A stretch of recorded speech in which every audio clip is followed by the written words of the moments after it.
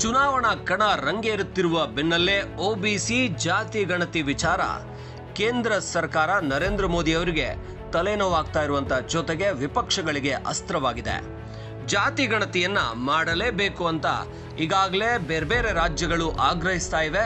ಅದರ ಜೊತೆಗೇನೆ ಈಗ ಕರ್ನಾಟಕದ ನಂತರ ಒಡಿಶಾದಲ್ಲಿ ಕೂಡ ಜಾತಿ ಗಣತಿಗೆ ಒತ್ತಾಯ ಶುರುವಾಗಿದೆ. ಛತ್ತೀಸ್ಗಢದ ಚುನಾವಣಾ ಕಣ ರಂಗೇರ್ತಿರುವಾಗ ದೇಶದಲ್ಲಿ ಹಿಂದುಳಿದ ವರ್ಗಗಳ ಏಳಿಗೆಗೆ ತುರ್ತಾಗಿ ಒಬಿಸಿ ಜಾತಿ ಗಣತಿ ನಡೆಸಬೇಕು ಅಂತ ಕಾಂಗ್ರೆಸ್ ಅಧ್ಯಕ್ಷ ಮಲ್ಲಿಕಾರ್ಜುನ್ ಖರ್ಗೆ ಆಗ್ರಹಿಸಿದ್ದಾರೆ. ಛತ್ತೀಸ್ಗಢದಲ್ಲಿ ಭರೋಸ್ಕಾ ಭರೋಸೆ ಸಮ್ಮೇಳನ್ ಕಾರ್ಯಕ್ರಮದಲ್ಲಿ ಮಾತನಾಡಿದ ಖರ್ಗೆ, ಇತರ ಹಿಂದುಳಿದ ವರ್ಗಗಳ ಸಾಮಾಜಿಕ, ಶೈಕ್ಷಣಿಕ ಮತ್ತು ರಾಜಕೀಯ ಪ್ರಗತಿಗೆ ಅವರ ಗಣತಿ ನಡೆಸಿ ಅವರು ಉದ್ಯೋಗ, ಶಿಕ್ಷಣ, ಮೂಲಭೂತ ಸೌಕರ್ಯ ಮುಂತಾದ ವಿಷಯದಲ್ಲಿ ಯಾವ ಹಂತದಲ್ಲಿದ್ದಾರೆ ಅಂತ ತಿಳಿಯೋದು ಅಗತ್ಯ. ಆದರೆ ಬಿಜೆಪಿ ಮಹಿಳೆಯರು ಹಿಂದುಳಿದವರ ಹಕ್ಕು ಕಿತ್ತುಕೊಂಡು ದೇಶ ಒಡೆಯಲು ಪ್ರಯತ್ನಿಸುತ್ತಿದೆ ಅಂದಿದ್ದಾರೆ.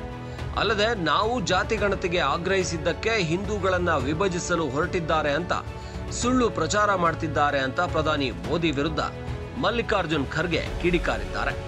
ಒಟ್ಟಾರೆ ದೇಶಾದ್ಯಂತ ಜಾತಿ ಗಣತಿ ನಡಿಬೇಕು ಅನ್ನುವ ಕೂಗು ಹೆಚ್ಚಾಗ್ತಾ ಇದೆ.